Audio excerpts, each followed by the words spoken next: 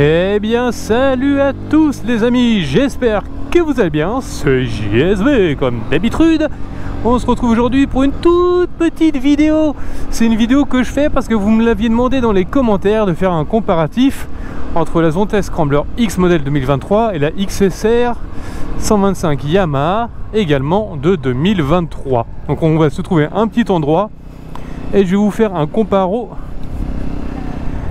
deux motos en termes d'accessoires, ce que vous avez quand vous achetez les bécanes, ce que vous n'avez pas, les spécifications techniques de chaque bécane, etc. Donc n'hésitez pas à lâcher un gros pouce bleu la poteau. Et c'est parti mon kiki N'hésitez pas également à rejoindre tous mes réseaux, surtout Discord, si vous voulez faire partie de la communauté, prévoir des balades moto avec nous si vous êtes du 58 ou 89, hein, on tourne dans ces deux départements euh, principalement. Et eh ben venez, venez, venez, venez. Il y a une très bonne commu sur ce Discord. C'est très agréable, on s'aide beaucoup. Et on s'amuse, c'est le principal. Donc n'hésitez pas, vous avez tous les liens dans la description de toutes mes vidéos et également sur la chaîne. En tout cas pour le moment vous pouvez voir sur le compteur de la Zontech je suis à 550 km, ça y est j'ai dépassé la barre symbolique des premiers 500 km donc maintenant je dois passer mes rapports à 8000 tours maximum. Donc c'est ce que je fais. Ça permet d'habituer la moto à des régimes un peu plus hauts. Et ensuite j'ai rendez-vous le 12, non le 6 septembre pour la révision des 1000 km. Donc bah, je vais devoir quand même pas mal rouler parce que c'est dans une semaine.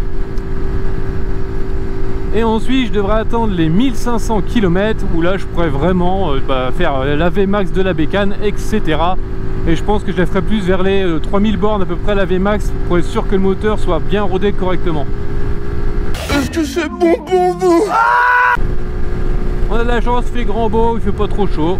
Donc c'est cool, on en profite pour une chiotte balade. Je réponds également aussi à un commentaire que j'avais reçu par rapport à la vitesse GPS. Donc c'est simple, sur cette moto, vous avez 7 km heure entre la vitesse compteur et la vitesse GPS. sinon pour l'instant j'en suis vraiment très très content euh, de la moto. Hein. Et j'ai vraiment hâte que le bridage électronique dégage pour avoir euh, toutes les capacités de la bécane et pouvoir vous en faire un retour vraiment euh, complet de cette belle Zontes Scrambler. Déjà ce que je peux vous dire c'est que en étant en rodage et bridé électroniquement, euh, ça marche aussi bien qu'une KTM Duke qui elle n'est pas bridée. Donc euh, voilà, vous avez déjà une idée. Donc le modèle que j'avais moi, le modèle 2020, je crois 2021, je sais plus, j'avais là avec la Duke. C'est quasiment identique. Le couple est quasiment pareil, enfin c'est deux bécanes qui se ressemblent énormément. La Zontes par contre est beaucoup plus lourde, hein. ça il n'y a pas photo. Et elle est beaucoup plus confortable également c'est pour ça que j'ai hâte de la tester après rodage. Pour voir ce qu'elle a dans le bide. J'espère au moins atteindre les 110 115 euh, sans forcer on verra bien. On verra bien ce que donne cette bécane sur euh, la sixième vitesse sans avoir changé de pignon ou quoi que ce soit. A few minutes later. Le Plessis, normalement c'est dans le coin, c'est là, c'est là.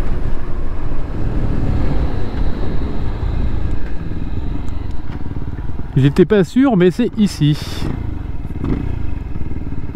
Ah je vous emmène un peu, vous savez, vous avez l'habitude. En POV. Regardez-moi cet endroit. Si vous êtes euh, pêcheur, ah, c'est trop trop joli. Ouais, il y a plein de poissons, on les voit. C'est trop trop mignon cet endroit, franchement. il aurait fallu plus d'eau pour pêcher, mais ce pêcher à la sauterelle, là, clac, clac, clac, clac, clac. Bon bah allez, je vous reprends avec le téléphone pour faire Comparo XSR VS Zontes Scrambler X 2023 les potos. À tout de suite. Bon voilà les potos, c'est parti. Vous m'aviez demandé un comparatif entre la XSR 2023 et la Zontes Scrambler X de 2023. Donc je vais vous faire le tour des bécanes et vous parler un peu des différences qu'il y a entre les deux motos quand vous allez en concession et que vous les achetez sans accessoires. On va commencer par la XSR. Son prix 5000 300 euros à l'époque. Aujourd'hui, si vous voulez la même, euh, de mémoire, je crois que le prix est identique. Mais faites gaffe, il y a peut-être des concessions qui augmentent un peu les tarots. De base, il n'y a pas la bulle. Il n'y a aucune des deux bulles que vous voyez, la petite ou la grande, elles n'y sont pas. Les rétros, nous on les a rehaussés, donc les rehausseurs n'y sont pas également. Comme ça, je vais vous faire voir en fait les deux bécanes, comment vous allez les voir en concession pour le prix et sans accessoires. Vous allez voir, il y a quand même une grosse différence entre les deux motos. La XSR, nous on a mis du LED, mais d'origine c'est des ampoules, les clignotants, ce n'est pas du LED. Au niveau du réservoir sur la XSR, on a mis nous des protections de réservoir, mais d'origine il n'y en a pas. L'échappement est d'origine. Bon, il y a le daron qui s'amuse à mettre un petit autocollant Daddy Rider, ça n'y est pas non plus.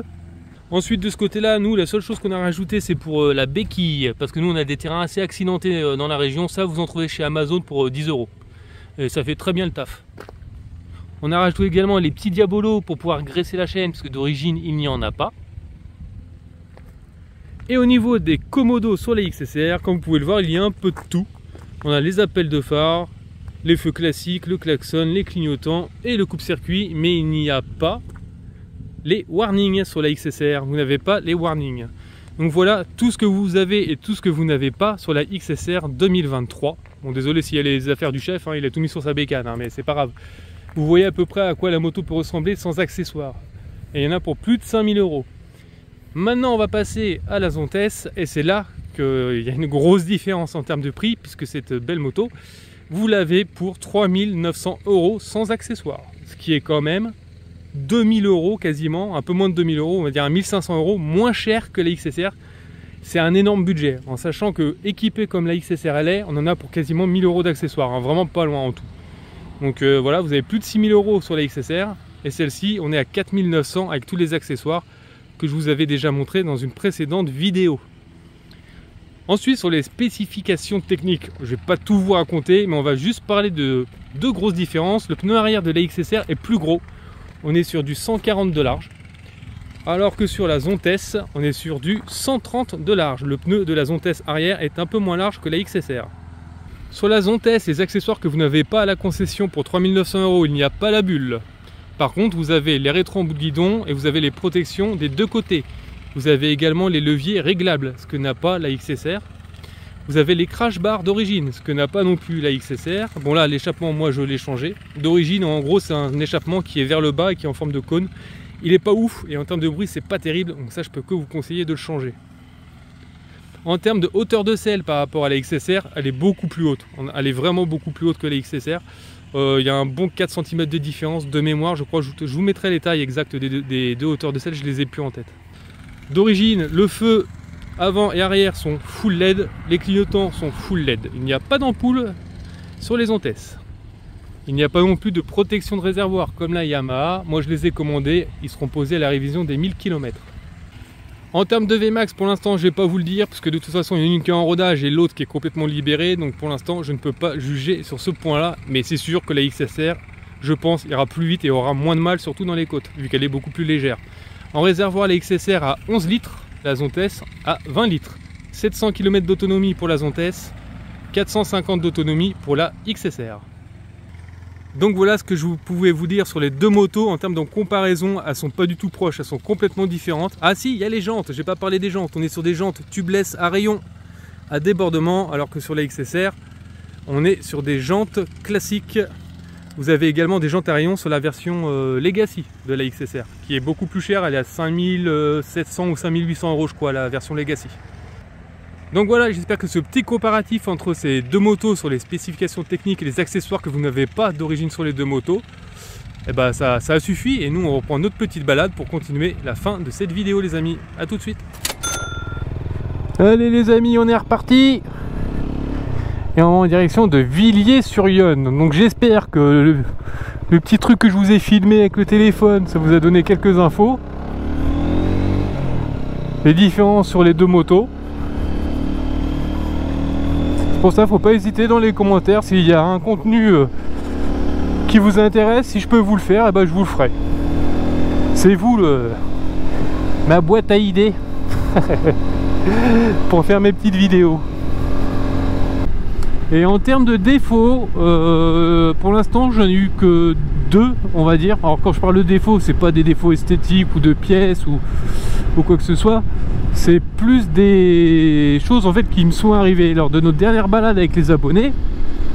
En gros il a plu et il faisait très lourd, hein. il faisait 35 degrés. la route était trempée parce qu'il y avait eu un orage. Et en gros, dans le feu arrière de la moto, eh ben, j'avais de la condensation dans le feu arrière.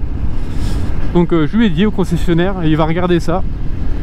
Euh, au niveau de l'étanchéité, ça n'a pas l'air incroyable euh, sur cette moto.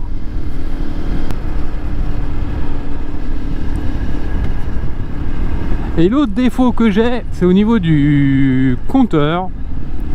En gros, quand je fais préchauffer la moto et qu'elle est sur sa béquille, il n'y a rien. Mais dès que je monte dessus et que je ne passe pas de vitesse, donc que je reste un peu assis sur la moto, et eh ben il y a les kilomètres heure qui font de 0 à 1. Ça clignote en fait de 0 à 1. Attendez une minute, une minute. Attendez, attendez.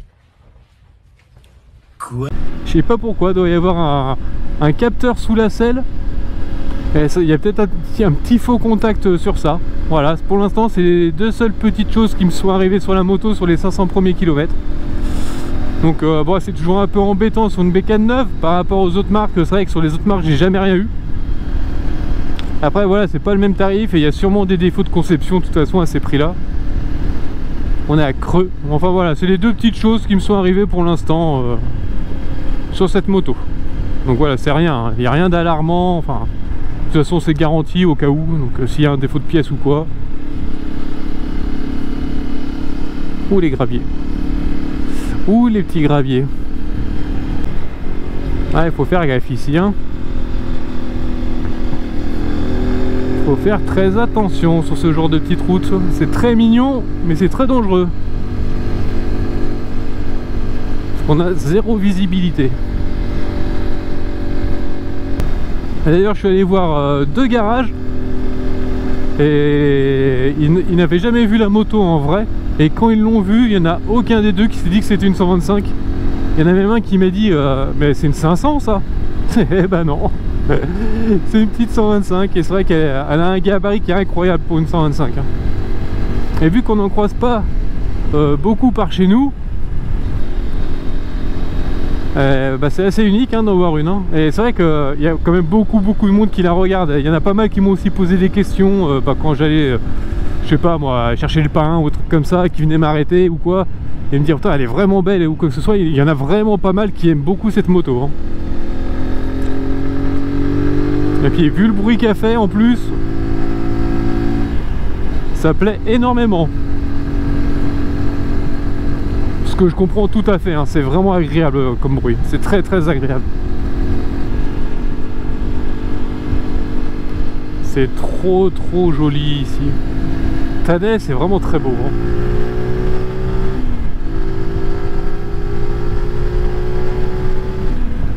Voilà, une bonne Excel hein. Une bonne Excel cette moto. Bon en tout cas voilà les potos. On est à la fin de cette vidéo. J'espère que cette vidéo vous aura plu. N'hésitez pas à lâcher un gros pouce bleu À vous abonner les amis. C'était JSB Et je vous dis à très vite Pour de nouvelles aventures Sur cette chaîne YouTube. Allez ciao les potos Ride safe et portez-vous bien